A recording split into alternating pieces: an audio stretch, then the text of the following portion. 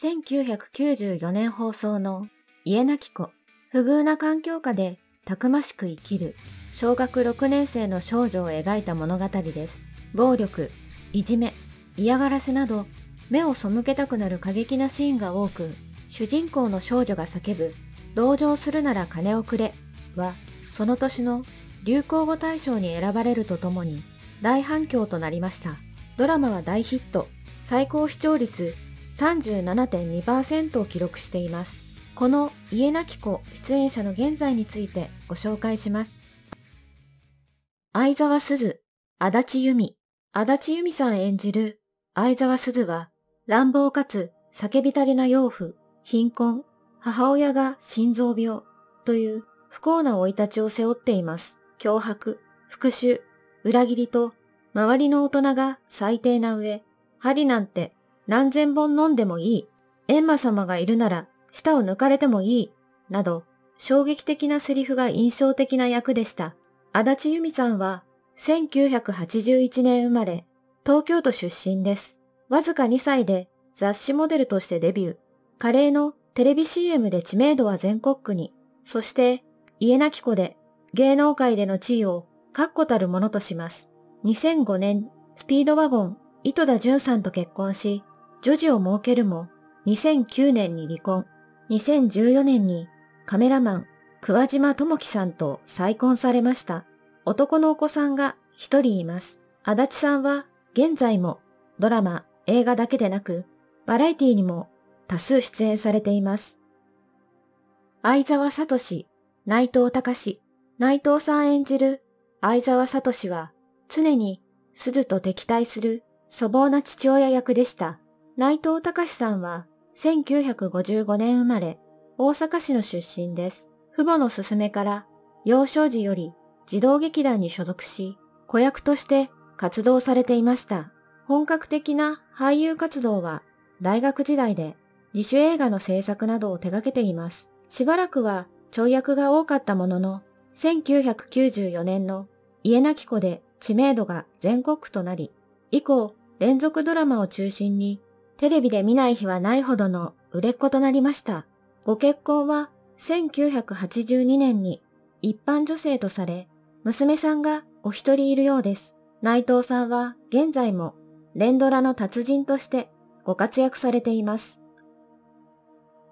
相沢陽子、田中よし子、田中よし子さん演じる相沢陽子は、サトシと鈴が本当の親子だと言えずに苦しむ役でした。田中よし子さんは1956年生まれ、東京都出身です。中学時代の音楽学校入学が芸能界入りのきっかけでした。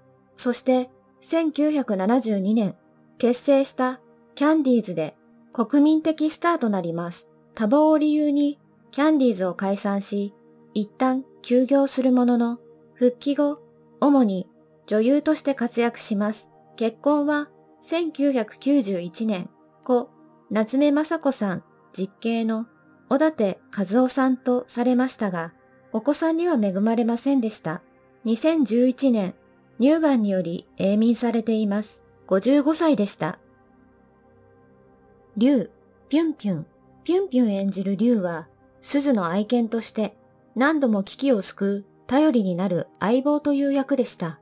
1990年、東京都内生まれのピュンピュンは、メスの柴犬、1994年、家なき子に出演後、一躍有名となり、その後、家なき子2や3年 B 組、金八先生にも出演。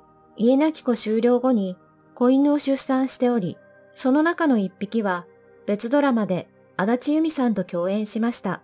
2001年に11歳で他界されています。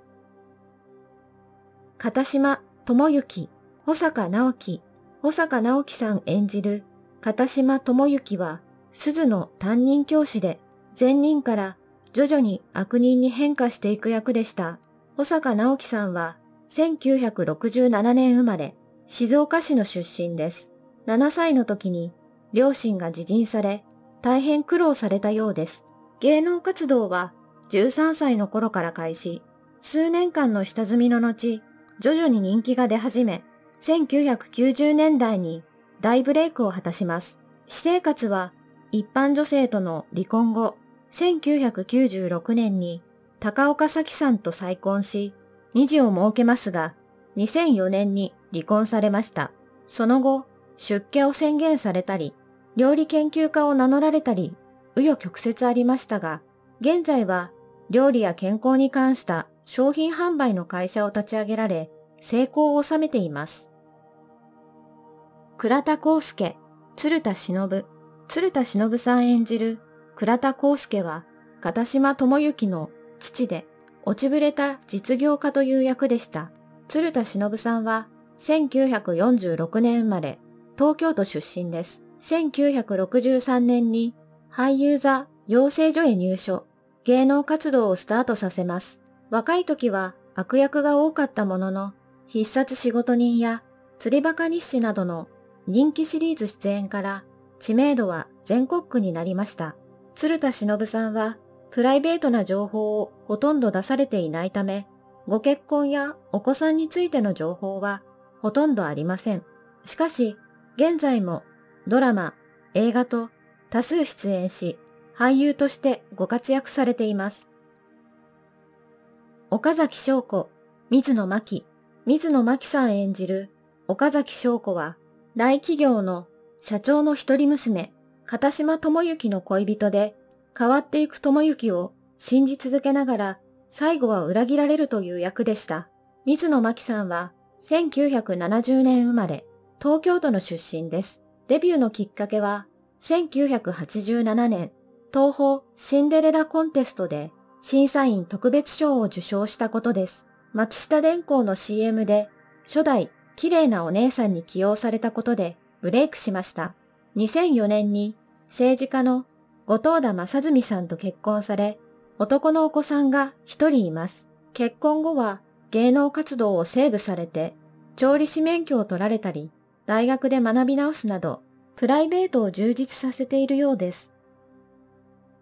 岡崎玲子、新藤恵美、新藤恵美さん演じる岡崎玲子は、岡崎翔子の母で、翔子の恋人、片島智之と関係を持ってしまい、そこから人生が転落していく役どころでした。新藤恵美さんは、1949年生まれ、東京都出身です。15歳の時にスカウトされ、芸能界入りされています。出世作は、1971年放送の美しきチャレンジャーで、ミニスカートのボーリング少女で、一躍人気女優になりました。1974年に俳優の長谷川昭夫さんと結婚されるも、その後離婚。1990年に年下のマネージャーと再婚されています。現在は女優業の傍ら、栃木県那須塩原市でパブスナックを経営されているそうです。黒崎和彦、京本正樹、京本正樹さん演じる黒崎和彦は、天外孤独の天才外科医で、鈴に優しい役どころでした。京本正樹さんは、1959年生まれ、大阪府吹田市の出身です。デビューは1979年の男たちの旅路ですが、きっかけはスカウトだったようです。その後、時代劇を中心に活動されていきます。京本さんは二度結婚されており、一度目は1988年にしましたが、一年で離婚。二度目は元アイドルの山本博美さんとされ、息子さんに現在ジャニーズグループ SixTONES として活躍されている京本大我さんがいます。京本政樹さんは現在も俳優として活躍中です。長井秀夫、塚本信夫、塚本信夫さん演じる長井秀夫は、鈴の母親、陽子の主治医です。ドラマ内では数少ない人格者の一人でした。塚本信夫さんは、1933年生まれ、東京都出身です。俳優養成所を経て、劇団に入団、主に特撮ものシリーズへの出演で活躍されます。ドラマ、映画、舞台と幅広く活動されていましたが、1996年、舞台の稽古中、脳内出血のため永眠されました。63歳でした。園田真由美、西田彩香、西田彩香さん演じる園田真由美は、鈴といとこ同士の同級生役で、鈴をいじめ抜く強烈な役でした。西田彩香さんは1982年生まれ、東京都出身です。ミュージカル、アニーの主役に抜擢されたことが芸能界入りのきっかけです。知名度が上がったのは、家なき子出演で、以後歌手デビューを果たすなど活躍されますが、大学進学後、学業専念を理由に芸能活動を停止されました。結婚は一般男性とされているようですが、詳細はよくわかっていません。芸能活動は再開されていたようですが、現在はブログの更新も止まっており、引退されている可能性があります。園田公明、篠原俊春、篠原俊春さん演じる園田公明は、鈴のいとこで、事故により下半身不随、最後は崖から転落という壮絶な人生の役でした。篠原俊春さんは、1980年生まれ、東京都出身です。主に子役として活動されており、家なき子のほか、TBS ドラマ、若葉の頃、聖者の行進などに出演されておりましたが、現在の活動についてはよくわかっていません。園田京子、小柳ルミ子、小柳ルミ子さん演じる園田京子は、鈴のおばで、意地悪く、鈴をいじめる役でした。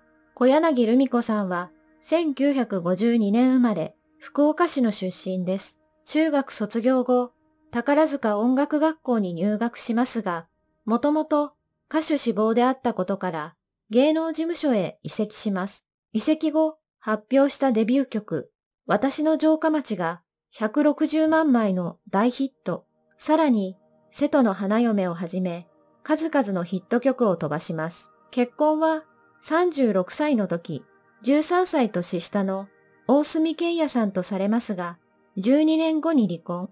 その後、俳優、石橋正隆さんと婚約されましたが、破局しています。小柳ルミ子さんは、現在も芸能活動を行っています。園田和夫、小倉一郎、小倉一郎さん演じる園田和夫は、鈴の母、陽子の兄で、優しげな見た目とは逆に、悪巧みを計画する腹黒い男の役でした。小倉一郎さんは1951年生まれ、東京都出身です。子役出身で、小学2年からエキストラ出演を果たしています。青年期は主に青春ドラマに出演。ナイーブな印象から人気を博しました。1990年以降になると、色白でひ弱そうな見た目から、小心者役が多くなります。プライベートでは4回も結婚されています。お孫さんも5人いるそうです。小倉さんは現在も俳優として活躍しているほか、俳人として数多くの作品を発表されています。田畑光恵、菅井金、菅井金さん演じる田畑光恵は、窃盗団のボス、強い信念を持ち、鈴に大きな影響を与える役でした。菅井金さんは、1926年生まれ、東京都の出身です。高校卒業後、就職しますが、女優になることの夢が捨てきれず、俳優座へ入団します。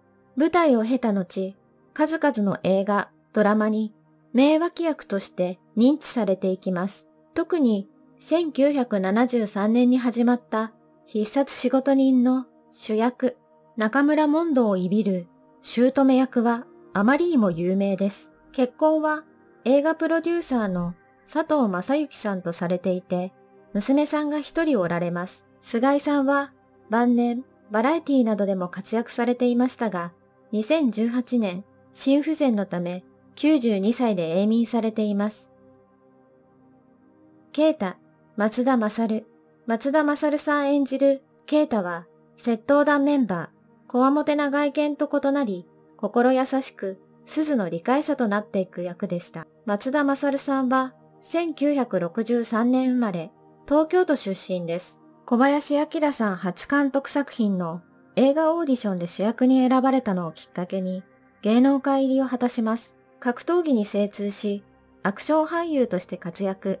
2000年代初頭からは V シネマ中心に活動されています。結婚はヘアメイクを行っていた女性とされていますが、お子さんはいないようです。松田さんは現在、バンニャという劇団を立ち上げ、主に舞台で活躍されています。ナミ、浜田マハ、浜田マハさん演じるナミは窃盗団のメンバーですが、根は優しい鈴の良き理解者という役でした。浜田マハさんは1974年生まれ、東京都出身です。1986年、子役ながら女優デビューを果たされています。主演は少ないながら、脇役ながらドラマをはじめ、CM にも多数出演されています。浜田さんの知名度が上がったのは、連続テレビ小説、えいにょぼで、家なき子と並んで初期の代表作となりました。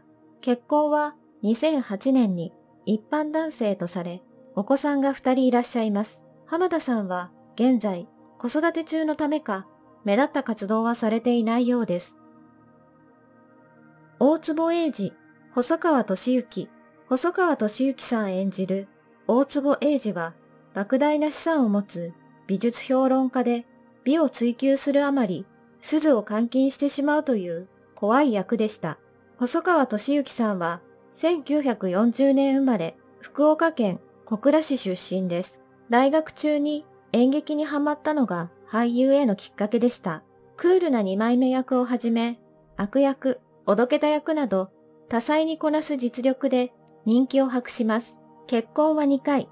1回目は1967年に女優小川真由美さんと、2回目は1974年に宝塚女優千夏樹さんとされています。小川さんとの間にロックバンドジェットセットのギターボーカルマーさんがいらっしゃいます。細川さんは2011年病気のため永眠されています。70歳でした。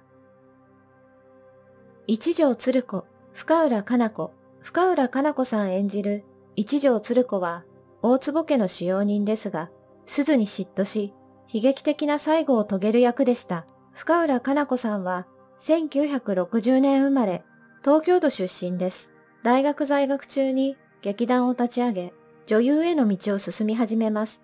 主に舞台で活躍した後、活躍の場をテレビに移し、名脇役として広く知られるようになりました。家なき子のほか、庶務に、仮想研の女などで、癖のある女性を演じ、人気を博します。深浦さんは結婚されていません。仕事が恋人と言っていた深浦さんですが、2008年48歳の若さで、癌のため永眠されました。最後までご視聴いただき、ありがとうございました。